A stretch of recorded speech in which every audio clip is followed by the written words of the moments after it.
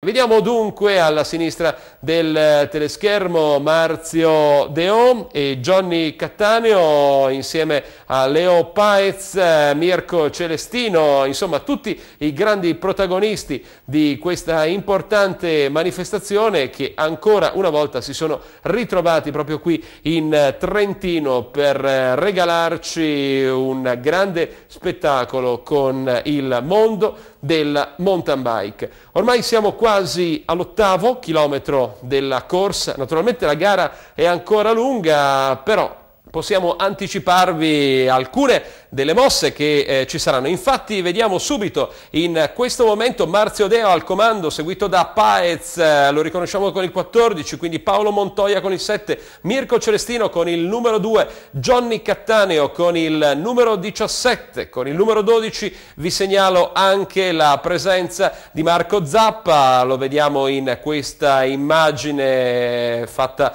alle sue spalle e qui invece ci riportiamo al comando della corsa, il portacolori della Giant Paolo Montonia.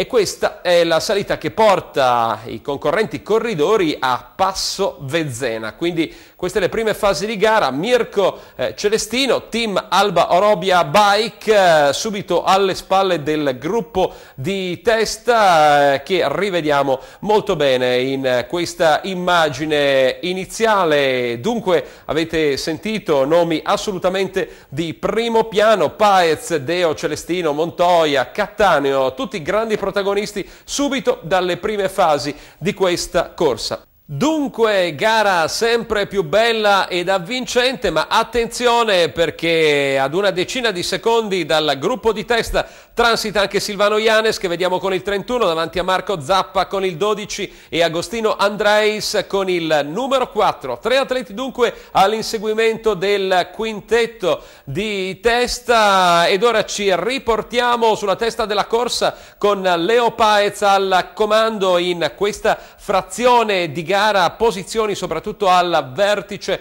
che continueranno a rimescolarsi anche per le prossime sequenze video. Infatti qui al comando. Siamo al tredicesimo chilometro di corsa, ora si è portato Marzio Deo della Cicli Olimpia, dunque rimescolamento di carte in questo frangente ma soprattutto questo quintetto di atleti che cerca di staccare i tre inseguitori di cui vi abbiamo dato conto proprio qualche istante fa a comandare questo terzetto di inseguitori. C'è Silvano Ianes per cui una gara che sicuramente sta entrando nelle fasi più importanti vedremo dunque se il gruppo riuscirà a ricucire lo strappo lo vediamo da questa inquadratura il terzetto che tenta dunque di riguadagnare i fuggitivi in questo caso gara che comunque è ancora assolutamente lunga e quindi ricca di sorprese. Noi naturalmente come appassionati di mountain bike eh, ce l'auguriamo vivamente. Ne approfitto anche per ricordare a tutti i nostri telespettatori anche il sito internet ufficiale della nostra trasmissione all'indirizzo www.telestudio8.it per essere sempre aggiornati sulla nostra programmazione televisiva e anche per poter visualizzare i filmati delle nostre puntate televisive. Ancora Marzio Deo al comando di questa gara, ormai vicini alla piccola pausa pubblicitaria, dunque Deo che spinge assolutamente sui pedali, ci fermiamo un attimo per un piccolo break, ritorniamo tra poco. Ed eccoci di nuovo insieme per la seconda parte della 1000 Grobbe Bike, 100 km dei forti. Attenzione perché vediamo che i 5 atleti in fuga sono stati raggiunti grazie all'impegno di Marco Zappa che si è trascinato appresso proprio Silvano Ianes, eh, neanche a farlo apposta, ed Andreis con il numero 4 come vediamo da questa inquadratura finale. Dunque la fuga dei 5 atleti è assolutamente assolutamente terminata e quindi i giochi si riaprono in questo frangente. Mille Grove Bike, 100 km dei forti, grande protagonista qui su Sport Winner. Intanto inquadratura per il numero 45, ovvero Federico Birtele. Questo è il suo passaggio con le indicazioni anche dei volontari della protezione eh, civile. Qui con il numero 3 vediamo Stefan Unter Turner davanti a Josef eh, Mostosi che vediamo in questo momento. Josef Mostosi lo riconosciamo con il pettorale di gara numero 6 e tesserato per eh, la Cicli Olimpia. Dunque fasi concitate della corsa dopo un primo tentativo di allungo da parte di cinque atleti, tentativo che è stato smorzato, quindi giochi assolutamente riaperti in questa fase di gara. Davvero belli questi passaggi sull'altopiano che eh, durante il periodo invernale si trasformano in piste da sci e in estate naturalmente uno spettacolo assolutamente impareggiabile, ben documentato dunque dalle telecamere della nostra trasmissione.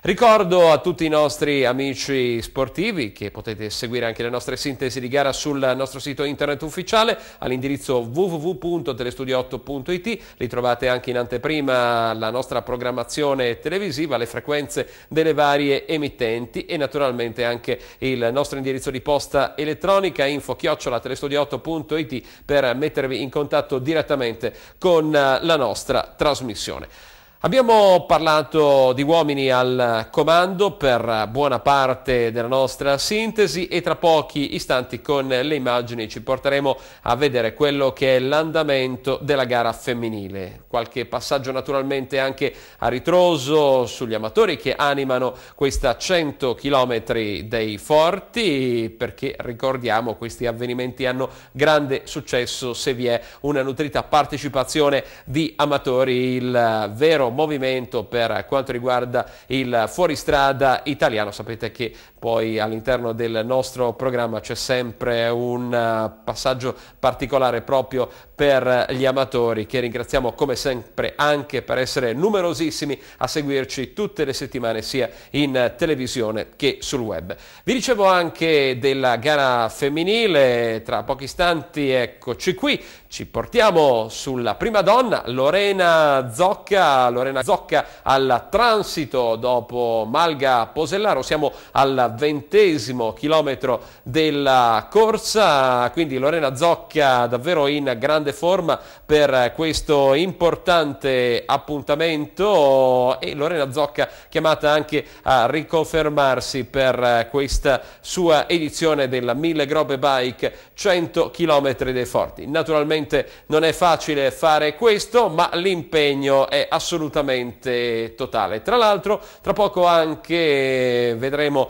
proprio Lorena Zocca insieme a Francesca Lonardelli. Lo vediamo da questa inquadratura. La Lonardelli è in eh, seconda posizione, dunque questo tandem tra le due atlete e soprattutto in questa fase di gara potrebbe cominciare a delineare quali sono i valori in campo rispetto alle avversarie. Ma Naturalmente non vogliamo escludere anche le altre atlete come Sabrina Baccarin, tra l'altro la Baccarin eh, la vedremo tra qualche istante proprio all'interno della nostra sintesi.